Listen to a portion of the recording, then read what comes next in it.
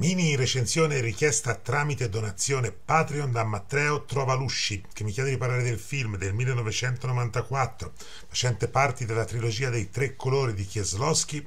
eh, il film Bianco, eh, appunto con Julie Delphi mh, mm, nel ruolo di Dominique e il bravissimo Zbigniew Zamachowski nel ruolo appunto del marito Carol Carol, che all'inizio del film viene portato in tribunale perché la nostra vuole il divorzio perché eh, dice che il matrimonio non è stato consumato e quindi il nostro praticamente perde eh, tutto perché non riesce poi ad andare a letto nemmeno con lei la sera, viene cacciato, perde tutto, rimane con una valigia, due stronzate e da solo in mezzo al niente, dopo aver chiesto appunto ma questa è l'uguaglianza al giudice con il suo stentorio eh,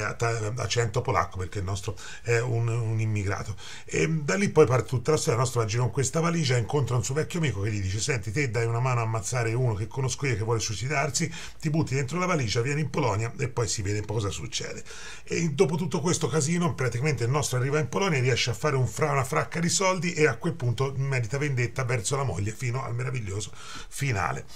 Allora, Kieslowski mette di fronte un'altra volta a tutti l'animo umano e facendo appunto tre film sulla bandiera eh, francese, libertà, uguaglianza e fraternità, qui si parla appunto dell'uguaglianza, uguaglianza che in realtà nel mondo secondo Kieslowski praticamente non c'è un mondo assillato e devastato da, da, da, dal consumismo e dal capitalismo. È un Kieslowski che di sicuro eh, non, non, rimpiange, pur essendo dichiaratamente di sinistra, non rimpiange veramente di, di sicuro la Polonia, eh, diciamo così, del blocco, però è anche è vero che qui di, di definisce una, di, distrugge una Polonia da un altro punto di vista, Polonia fatta di un capitalismo sfrenato, fatta di violenza, fatta di un certo tipo di razzismo. E in tutto questo viene fuori la forza chiaramente di una regia notevole, di una Julie Delphi straordinaria e di un modo di fare insomma del nostro che un'altra volta è qui che descrive, descrive il, il, il, il genere umano, descrive tutte le, le, le, le stranezze appunto di, di, una società che vorrebbe l'uguaglianza ma che in realtà non la dona a nessuno, un'uguaglianza data esclusivamente dal mondo mondo del denaro. E poi questo film è un film molto particolare perché se comunque se il film rosso e il film bianco e il film blu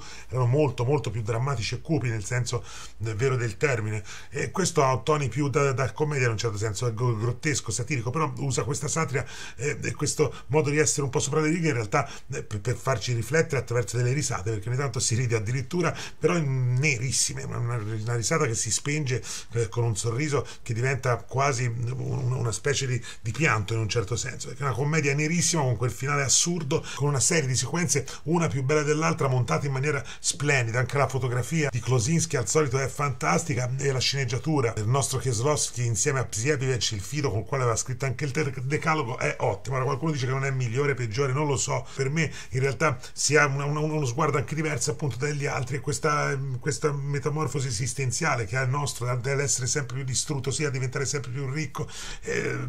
è un, un modo appunto che riesce a far sovvertire le regole di un destino già che sembrava scritto in un certo senso dopo le prime inquadrature, che invece poi viene ribaltato da un grandissimo Kieslowski che, ripeto, mantiene i tempi della commedia, mantiene i tempi del dramma e ci regala un finale meraviglioso per un film che probabilmente non è uno dei suoi, il suo capolavoro più, più grande, ma è sicuramente un'altra volta un film di uno dei registi più importanti della storia del cinema che ha regalato appunto con questa trilogia gli ultimi suoi lungometraggi prima della morte purtroppo nel 96 eh, ci ha regalato veramente un, un, una serie di film, uno più bello dell'altro, e questo film bianco, visto poi a distanza di, di, di, di 30 anni, risulta ancora oggi freschissimo per come tratta gli argomenti, per come riesce ad essere incredibilmente innovativo anche a livello proprio eh, di messa in scena, di movimenti di macchina che seppur semplici eh, sono sempre al punto giusto. E l'utilizzo della musica è, spe- è, spettacolare e alla fin fine appunto questo filmone di Kieslowski non può essere altro che consigliato insieme agli altri della trilogia e a tutti quelli che ha fatto il nostro nostro